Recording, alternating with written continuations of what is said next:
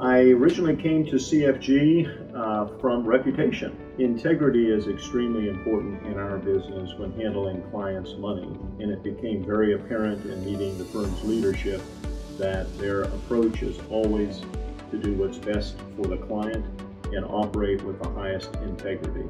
All of the planners here are easy to work with. We all get along, and it's because we all have a focus on our clients.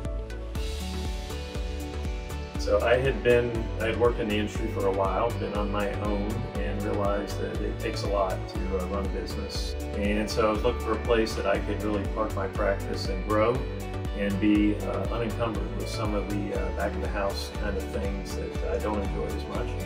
And so CFG checked that box for me. But I talked to a lot of people in the industry about merging practices or working together and and had always said no.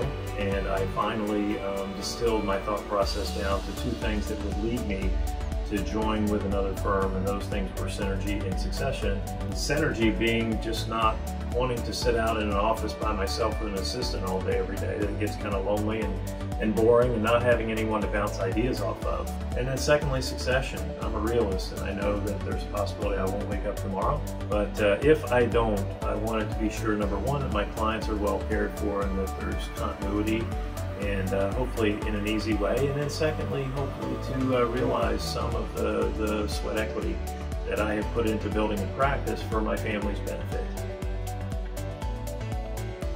CFG doesn't cut corners. So you don't have to worry about are we doing things the right way? Even though we have our individual practices, we collectively meet on a weekly basis to share ideas. There's synergy here.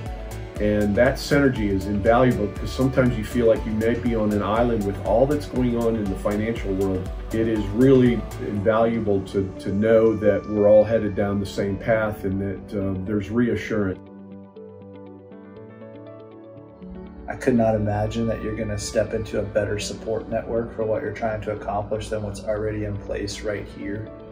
Um, and not with a, finer group of people to work with. From what I know about the industry and, and what uh, planners are looking at from a comparable compensation standpoint, I think the company is leading in that regard, especially with the extremely strong marketing plan. The quality of the leads, the close rate of the clients, it's just quite impressive uh, the radio, the word of mouth, people that are already clients, it's just very powerful.